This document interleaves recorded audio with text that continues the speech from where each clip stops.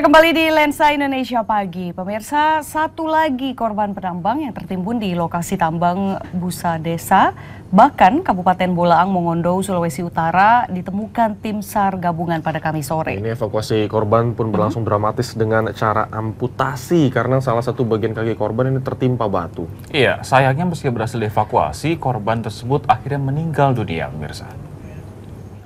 Jalan-jalan disterilkan jalan untuk bisa disterilkan.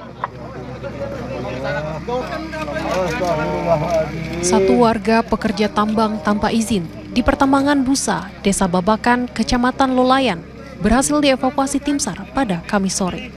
Korban bernama Teddy Mokodompit, warga Pontodon, Kota Mobagu, dievakuasi dengan kondisi kritis. Salah satu kaki korban terpaksa diamputasi tim SAR atas permintaan korban. Kaki korban terjebak dan terhimpit bebatuan saat berada di lubang tambang.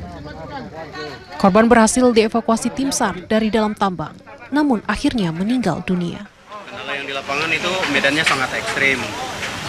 Dan kedua untuk longsorannya itu memang sangat sulit karena mereka terhimpit di antara bebatuan dan di atasnya lagi itu ada bebatuan yang siap-siap longsor.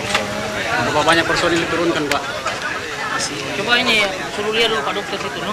Uh, sesuai dengan uh, pengecekan kami maupun dengan uh, alat yang ada dari pengecekan itu memang tidak ada lagi tanda-tanda kehidupan. Hasil operasi tim SAR hingga hari ini sudah 27 orang yang berhasil dievakuasi. 19 di antaranya berhasil selamat dan 8 orang lainnya meninggal dunia. Tim SAR juga hari ini akan menurunkan eskavator untuk melakukan pencarian mengingat kondisi di lapangan sangat sulit dan berbahaya. Dari Bolaang Monggondov, Sulawesi Utara, Rafsan Damapoli, RTV.